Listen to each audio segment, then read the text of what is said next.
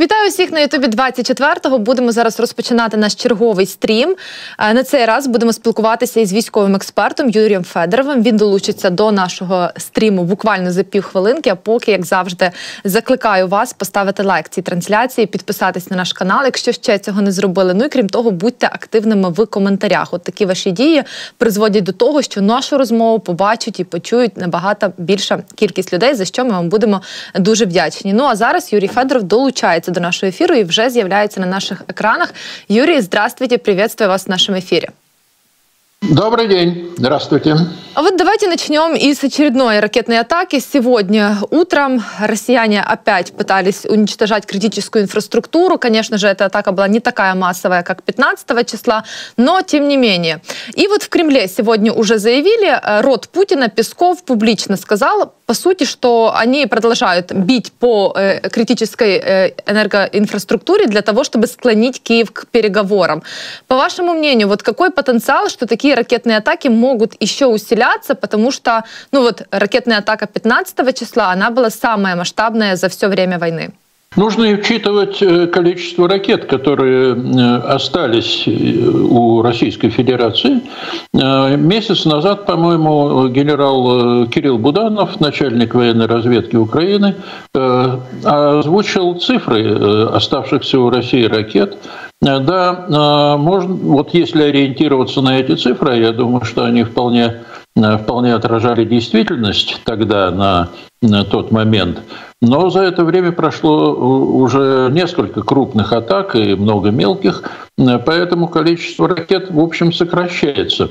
Но если говорить о ракетах воздушного базирования, теми э, ракетами, которые, которыми сегодня и вчера обстреливали э, инфраструктуру в, в Украине, и они попадали и в жилые кварталы, видимо, осталось э, ну, несколько сот ракет э, такого типа. Тут трудно сказать, сколько конкретно. Это должны говорить уже профессионалы, э, которые с карандашом в руках подсчитывают э, количество ракет и других вооружений, работники Генерального штаба вооруженных сил Украины. Но так, на вскидку, можно говорить, в общем, на мой взгляд, что осталось менее 500 э, полутысячи ракет.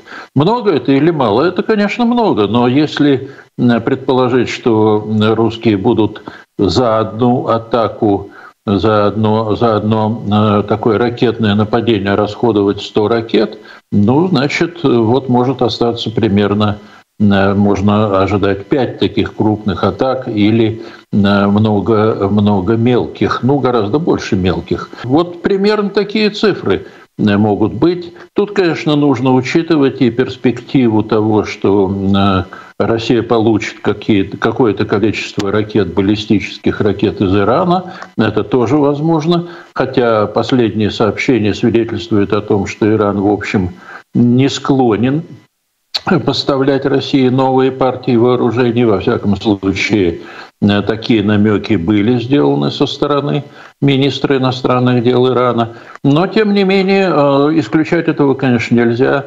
Э, когда речь идет о ирано-российском сотрудничестве, это всегда такая загадка. Там может быть много неприятных неожиданностей. Но будем надеяться на лучшее. Э, что касается эффекта этих атак, да, это тяжелые удары по, по Э, инфраструктуре Украины, по энергообеспечению. Но, тем не менее, я абсолютно уверен в том, что Россия своих целей не достигнет.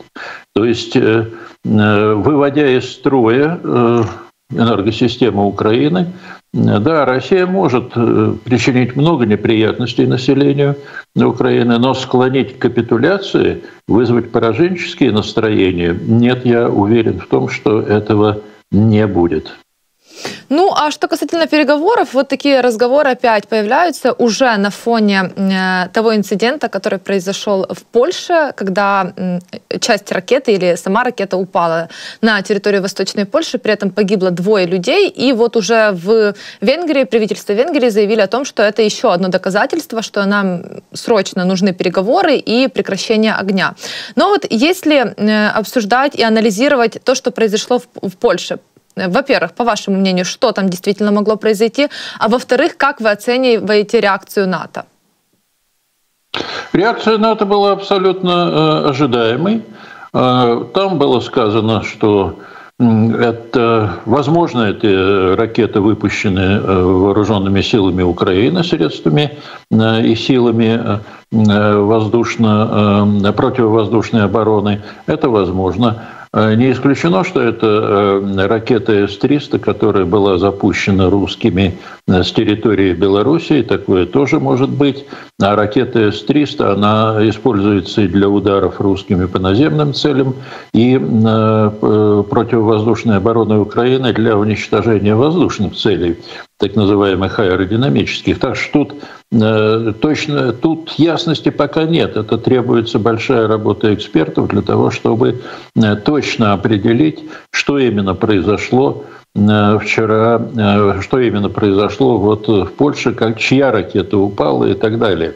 Но тем не менее позиция НАТО была Э, сформулировано достаточно ясно. Мы продолжаем э, помощь Украине, мы будем оказывать Украине помощь. И чья бы ракета это ни была, в том числе даже если предположить, что эта ракета принадлежит Украине, это не скажется на позиции западных союзников Украины.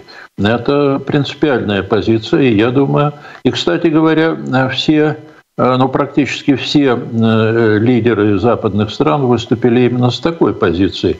Но э, в Венгрии есть свои особенности. И то, что заявил представитель венгерского правительства, это, конечно, отражает позицию только Венгрии, но и, но и не только Венгрии, замечу, отражает позицию ряда политических кругов в европейских странах и в Соединенных Штатах, э, которые, э, которые делают ставку на то, чтобы склонить Украину к переговорам во что бы то ни стало э, и заставить пойти на прекращение огня.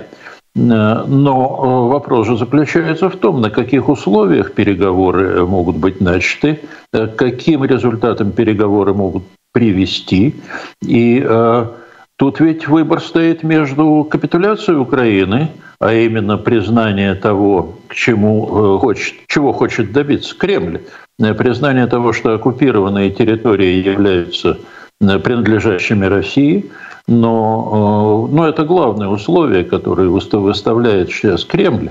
К этому он стремится принудить Украину, в том числе расстреливая ключевые объекты инфраструктуры – но э, готовы ли э, общество Украины, готовы ли вооруженные силы Украины и политическое э, сообщество, политику Украины к такого рода капитуляции?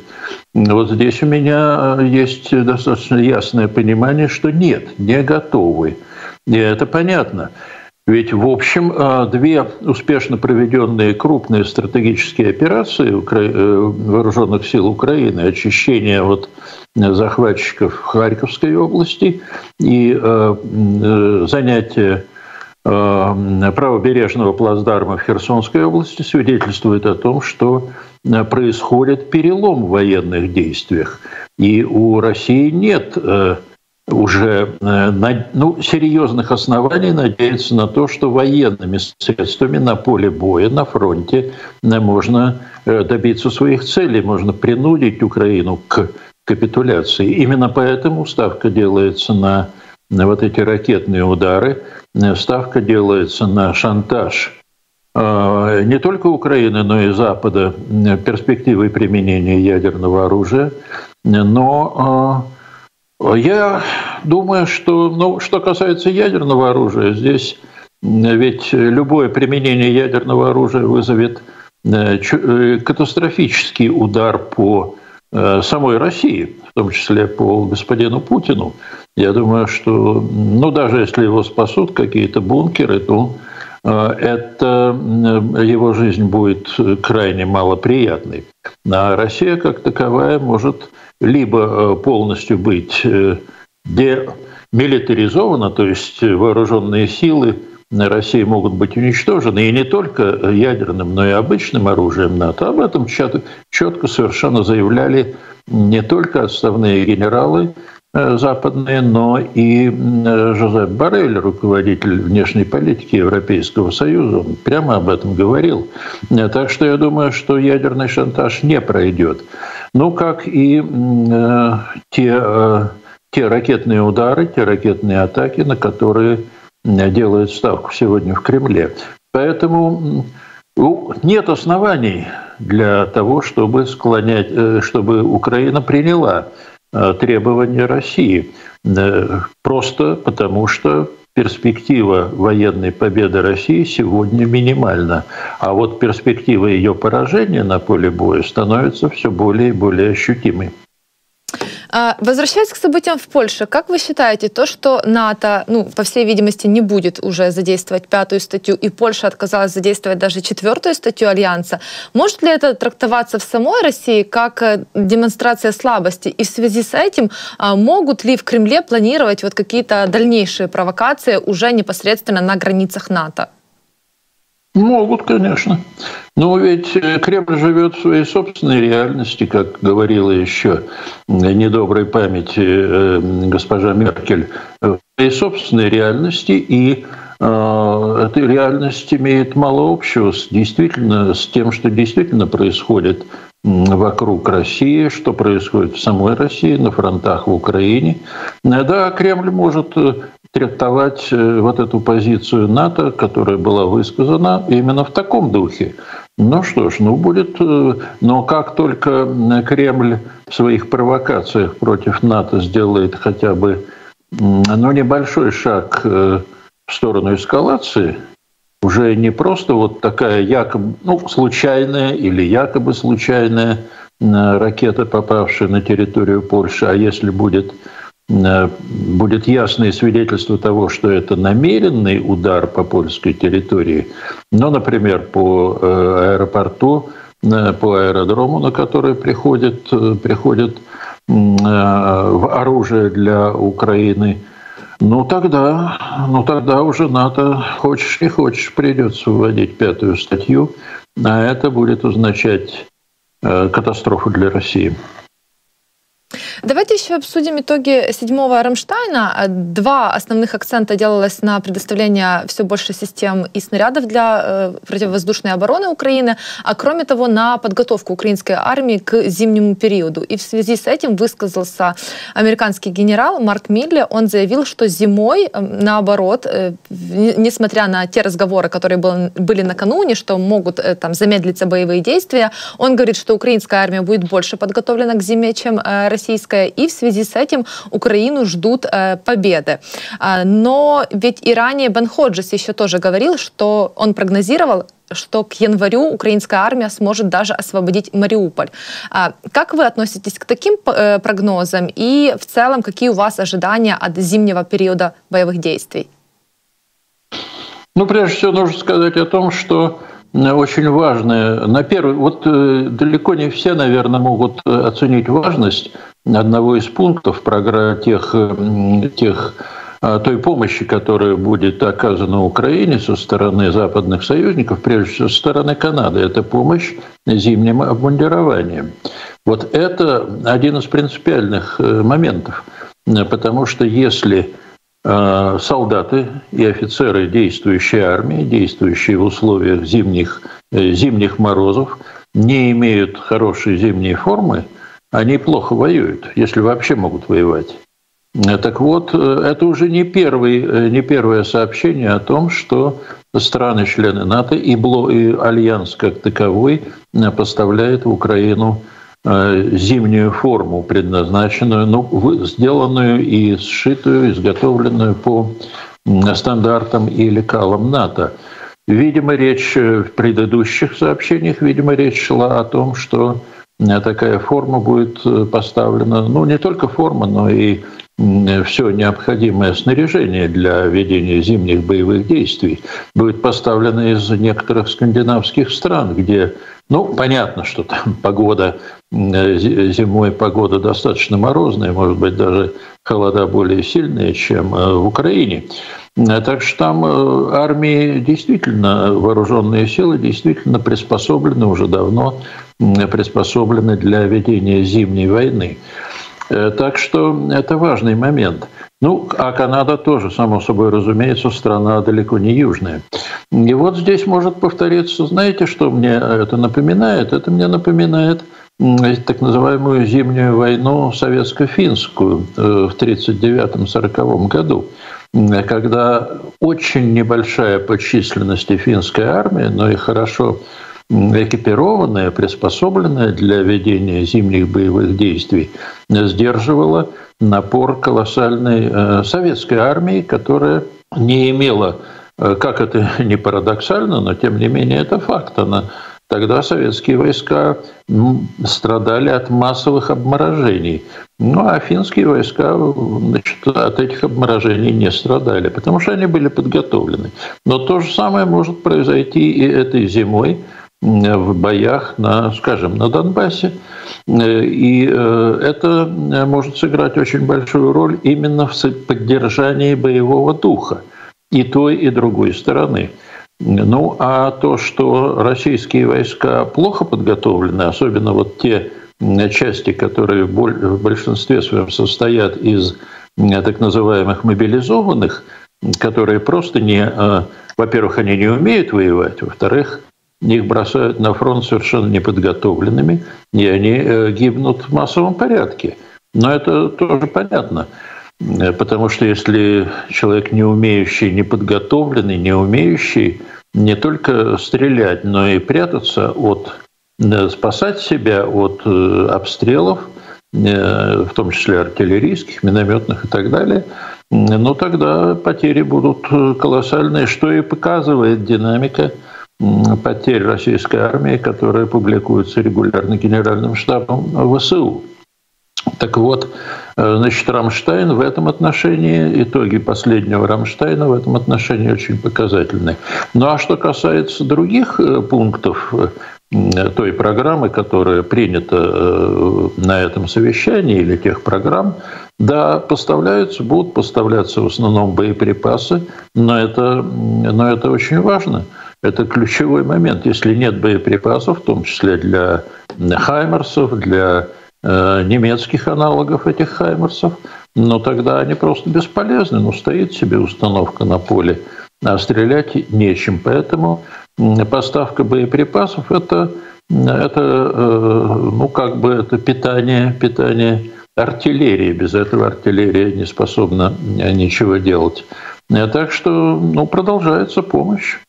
Помощь западных союзников, которая Э, которая, в общем, э, стала одним из важных факторов, может быть, э, наряду с боевым духом вооруженных сил Украины, наряду с искусством командования вооруженных сил Украины, вот эта военная поддержка со стороны Запада стала одним из главных факторов побед под Харьковом и на правом берегу Днепра.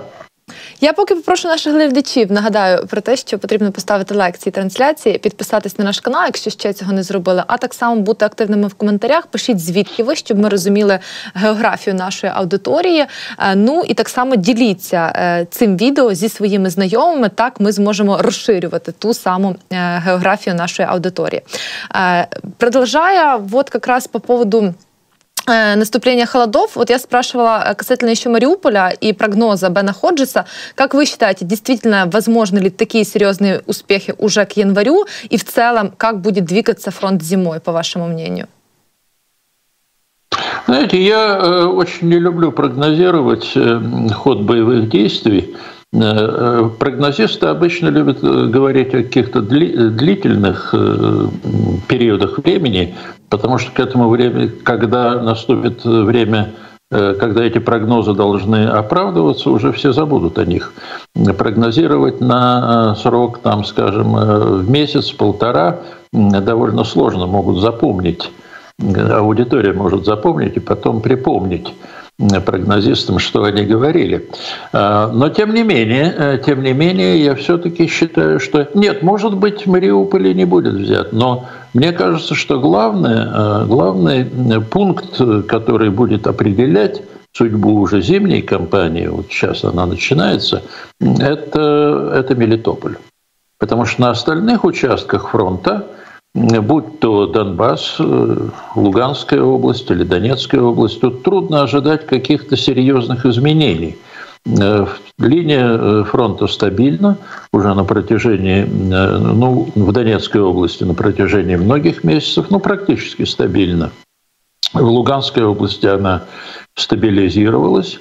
Херсонская область, ну, посмотрите, там линия фронта, линия соприкосновения проходит по Днепру. Форсировать Днепр, особенно в зимних условиях, это а, очень сложная задача. Я думаю, ни та, ни другая сторона сейчас не будет рисковать э, огромными потерями а в попытках штурмовать, э, в попытках форсировать Днепр. Что остается? Остается Запорожская область. И вот тут действительно могут развиваться очень важные, очень интересные события. Э, ну, если верить тому, что пишут многочисленные аналитики, и я думаю, они пишут об этом совершенно справедливо, это, это Мелитополь. Если вооруженные силы Украины смогут прорваться к Мелитополю, окружить его, вот тогда оборона оборона, все, вся оборона русских на юге Украины рухнет. Мелитополь – это ключ к югу Украины. Не Мариуполь даже, а Мелитополь. Вот это мне кажется важным. И э, я думаю, что и в России, в российском э, командовании это понимают. Не случайно предпринимаются... Вот уже сегодня пошли сообщения о том, что э, русские войска пытаются наступать на, на гуляй-поле. Я думаю, что это как раз свидетельство того, что и в России очень э, опасаются того, что, э, того, что э, будет, будет большое новое третье большое наступление ВСУ, в данном случае на Мелитополь. И теперь вот на что нужно обратить внимание. Из-под Херсона высвобождены довольно значительные контингенты войск и той, и другой стороны – ну, по данным российского генерального штаба, русские вывели на левый берег где-то до 30 тысяч человек. Может быть, это так, а может быть и нет.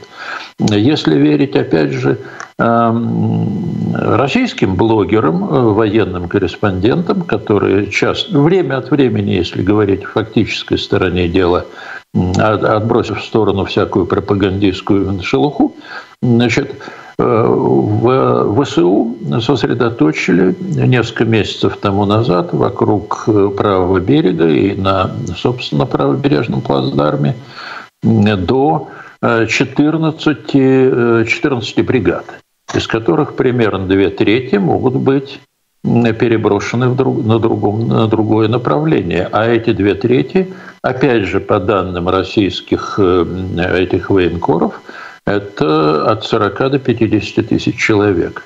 Но вот если сопоставить 30 тысяч с одной стороны, если предположить, что все э, российские войска из-под Херсона переброшены под Гуляй-Поле, а войска ВСУ тоже, в свою очередь, все переброшены под Гуляй-Поле, но получается, что там будет перевес – ну, один к трем, один к один и три, один э, к полутора, вот так в пользу Украины.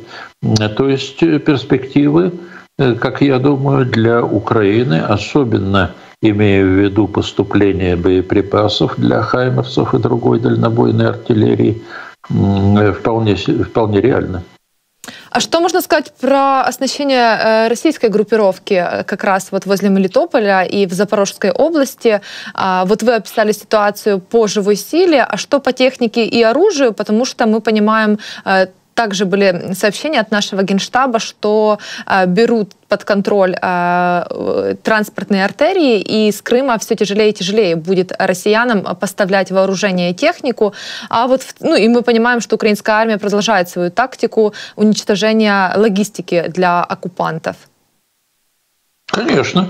Так она и должна продолжать эту тактику, и должна продолжать э, уничтожать транспортные, вот эти вот транспортные сосредоточения транспортных коммуникаций, склады и прочие логистические центры, э, потому что ну, это очевидно совершенно, это азбука военного дела. Если вы лишите противника, ну или сократите поставки вооружений, боеприпасов и так далее противнику, вы его ослабите, и в конечном итоге он Как это, как это и произошло, кстати говоря, на правом берегу. Он просто перестанет, потеряет способность вести боевые действия.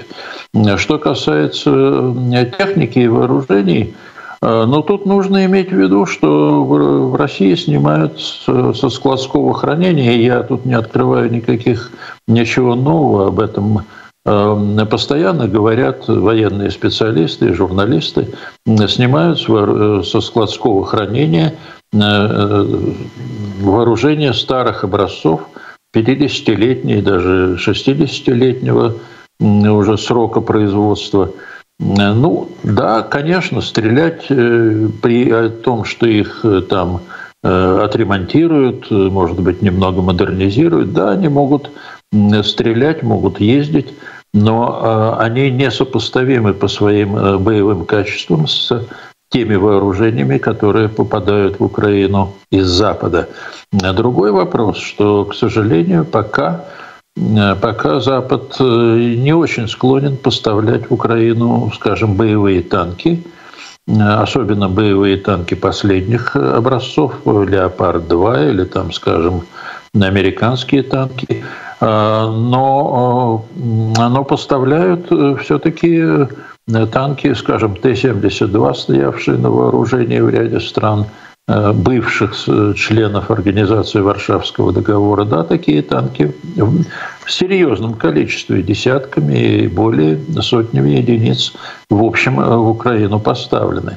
А кроме того, ВСУ захватили во время наступательных операций и в Харьковской области, и в некоторых других местах захватили большое, ну, большое, достаточное количество российских танков, которые отремонтированы или ремонтируются сейчас и, соответственно, будут пущены в дело. Так что здесь я бы сказал, что тоже ситуация ну, перестала быть такой кричащей в пользу России, она исправляется в пользу Украины. Также наша разведка сообщает, что после того, как россияне вывели силы из правого берега Херсонщины, э, они их перебрасывают на Донецкий плацдарм. Э, мы понимаем, что действительно ситуация сложная. В, э, неподалеку Угледара, также Солидара, кроме того, Бахмут не прекращают атаковать россияне. Вот, по вашему мнению, как может измениться фронт на Донецком направлении, учитывая, опять-таки, высвобождение сил, ну и с другой стороны, мы еще понимаем, что есть э, потенциал от мобилизированных в России. Ну, когда мы говорим о том, что да, конечно, российский генштаб перебрасывает, э, российское командование перебрасывает и на Донецкий фронт э, те силы, которые высвобождены с, с правого берега. Но давайте подумаем. Конечно, Генеральный штаб Украины не сообщает о том, что и вооруженные силы Украины тоже перебрасывают, э, я думаю, немалое, немалое количество солдат, офицеров, военной техники и вооружения именно туда, э, куда перебрасываются части российской армии. Ну, иначе просто быть не может. Это было бы ну, не похоже, чтобы генерал Залужный вот так просто не принимал никаких мер для того, чтобы компенсировать наращивание российских усилий на значит, там под Солидаром или под э, Бахмутом или где-то еще. И вот я уже говорил о том, что э, в Украине высвобождается больше сил, чем, э, чем у России с правого берега. Это тоже нужно иметь в виду. А что касается мобилизованных, ну, понимаете, ведь э, чем больше мобилизованных отправляется на фронт э, российской армии, тем выше, э, тем выше потери.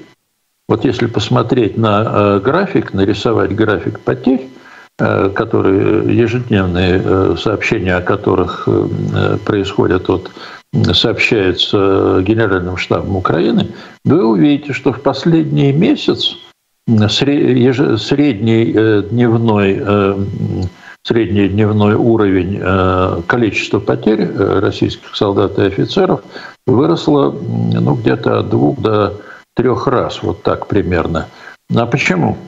Интенсивность боев ведь не увеличилась, а увеличилось количество людей, не умеющих воевать, которые попадают в российские части на, на фронт. Как я уже говорил, эти люди в массе своей гибнут, потому как срок их подготовки там, скажем, ну, максимум две, две недели. Об этом говорил и Путин в свое время, где-то выступая на какой-то пресс-конференции. Он сказал, что вот целых две недели готовятся российские солдаты, вот мобилизованные. А готовить их на самом деле, но об этом он не сказал, готовить их нужно как минимум 4-5 месяцев, а лучше полгода. Ну вот, э, вот и результат. Но если верить в то, что они действительно мобилизировали э, там больше 300 тысяч э, военных, э, то получается, что все равно огромная часть еще не переброшена на украинский фронт. И как вы считаете, действительно будут ли они ее бросать по мере того, как будет э, уменьшаться группировка российская, или все-таки они действительно могут там провести, провести сейчас какие-то более длительные э, обучения для того, чтобы ну, вот эти солдаты в бою потом показали себя как бы более эффективно? Я думаю, что последнее как раз вероятно, и более вероятно, чем все остальное, потому что Э, но весь э, расчет э, российских, российских генералов, и я думаю, расчет тех, кто сидит в Кремле, он заключается в чем? Вот использовать военную передышку, зимнюю передышку, когда как считают многие, интенсивность боевых действий будет снижаться, если она будет снижаться, конечно, а это еще вопрос. Значит, вот к весне подготовить большое количество личного состава. Да, это такой расчет есть. Но, во-первых, э, нужно иметь в виду, что помимо рядовых, которые готовятся сейчас, вот, ну, будем считать, что примерно 200 тысяч, потому что из 300 тысяч около сотни э, тысяч было уже отправлено на фронт для того, чтобы компенсировать те потери, которые российская армия несла на протяжении всей войны. А эти потери, ну, они э, заведомо превышают 100 тысяч, если иметь в виду не только погибших, но и раненых, демобилизованных по ранению – Э, пропавших без вести и так далее, там заведомо больше 100 тысяч. Ну, не будем тут гадать о цифрах. Значит, около 100 тысяч направлено уже в действующую армию. Их э, судьба, как э, мы уже говорили, достаточно печальна. А вот остальные, да, остальные могут быть использованы в весне, в весенней кампании. Но ведь использовать рядов... одних рядовых – это бессмысленно. Значит, помимо, э, помимо рядовых должен, должен быть нормально подготовленный, квалифицированный э, командный состав, то есть офицерский корпус.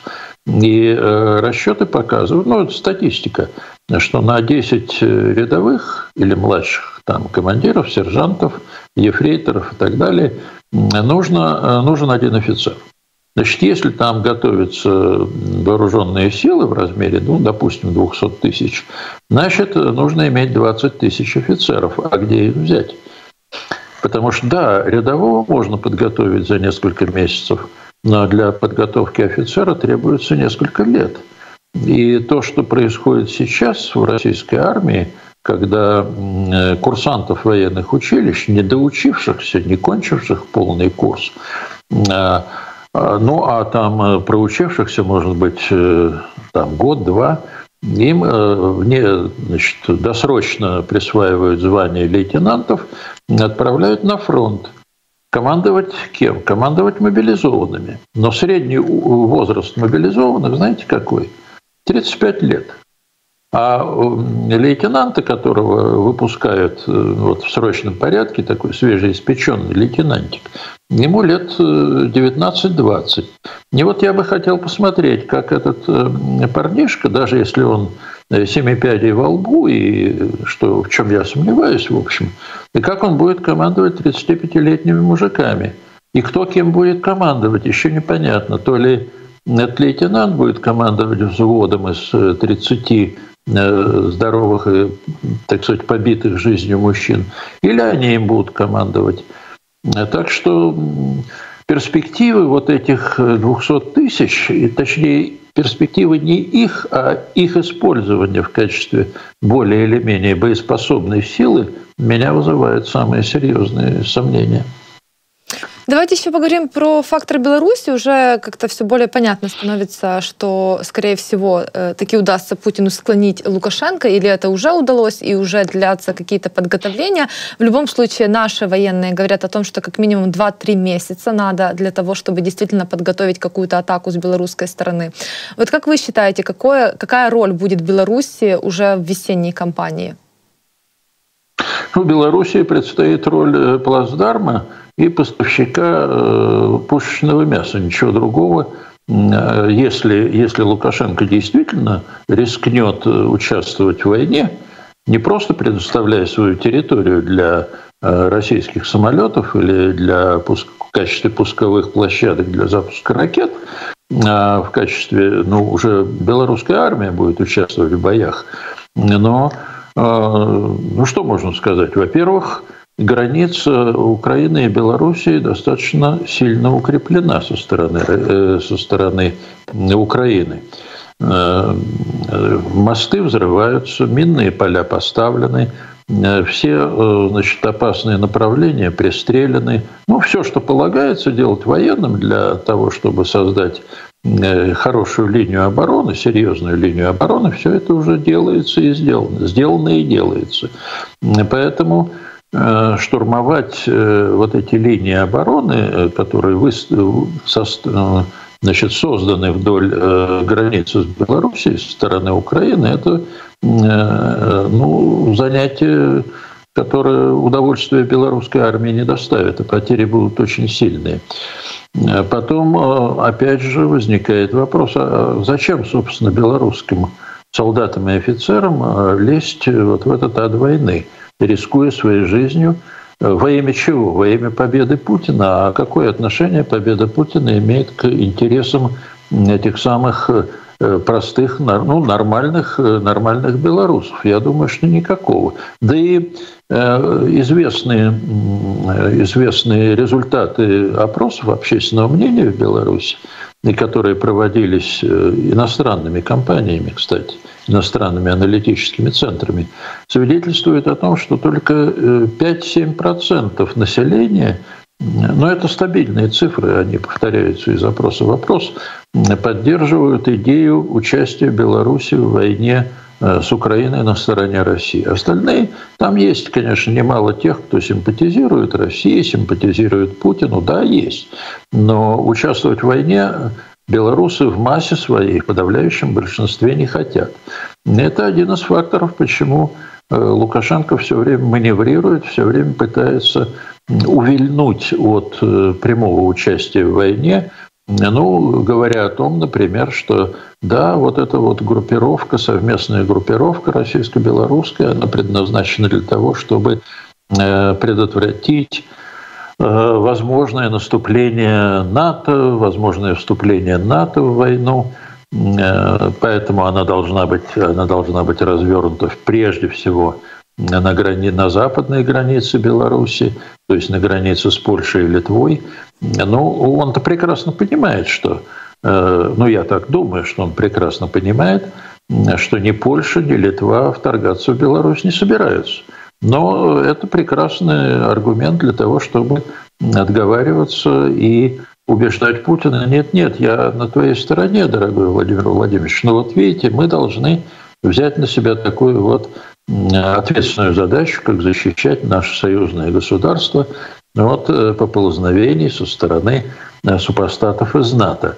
Ну, защищать он может сколько угодно, потому что, как я уже говорил, э, НАТО не собирается нападать. Но за это, вот, выполняя эту замечательную функцию, он может убеждать и Путина, и тех генералов своих, которые могут захотеть э, участвовать в войне, что нет, не надо в войне участвовать, лучше мы будем охранять западную границу.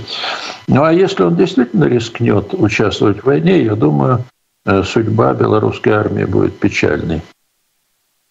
Еще напоследок хочу обсудить, ну, наверное, такой более общий вопрос, но тем не менее, вот как вы считаете, придется ли украинская армия освобождать военным путем полностью всю территорию или в какой-то момент действительно последует политическое решение, после которого российская армия сама отойдет, ну, грубо говоря, так, как это было там в Херсоне.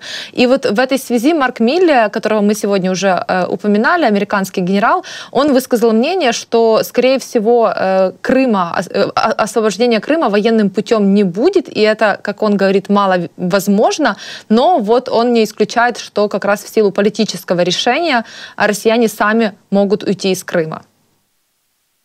Но если уж точно говорить о том, что сказал Марк Милли, он сказал о том, что он не видит э, большой вероятности освобождения Крыма военным путем в ближайшее время, то есть зимой.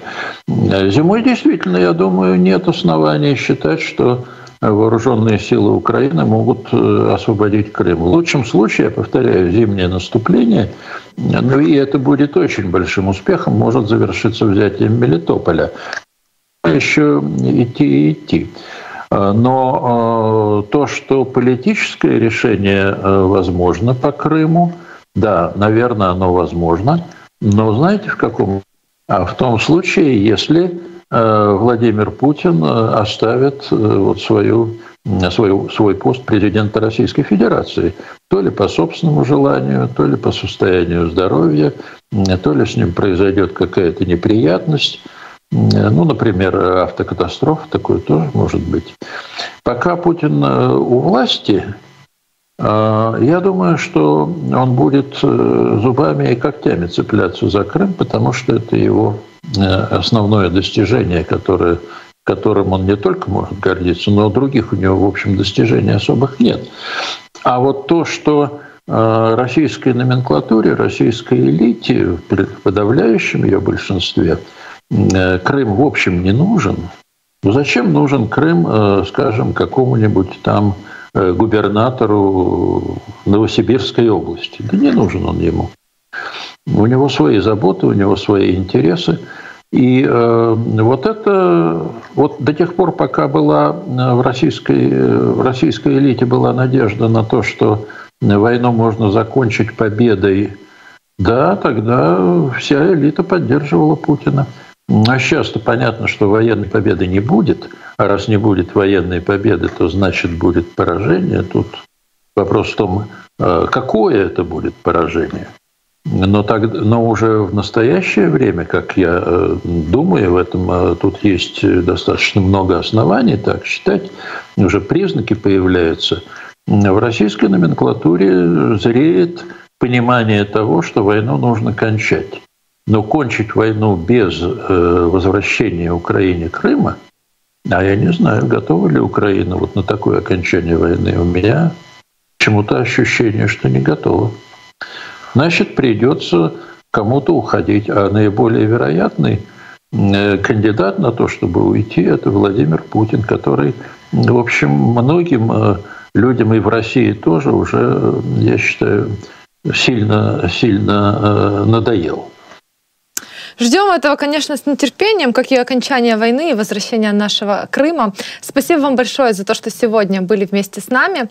Спасибо за ваше время. Нашим глядачам я нагадаю, що Юрій Федоров, військовий експерт, був з нами на зв'язку. Ну і на сам кінець, як завжди, попрошу вас поставити лайк цьому відео. Якщо вам не сподобалось, якщо не сподобалось, поставте дизлайк. Для нас так само важливо розуміти зворотній зв'язок. Крім того, будьте активними в коментарях і поширюйте це відео серед своїх друзів. Спасибі, що були сьогодні Сьогодні разом із нами. На все добре. Дякую вам. Все, спасибо большое. До свидания.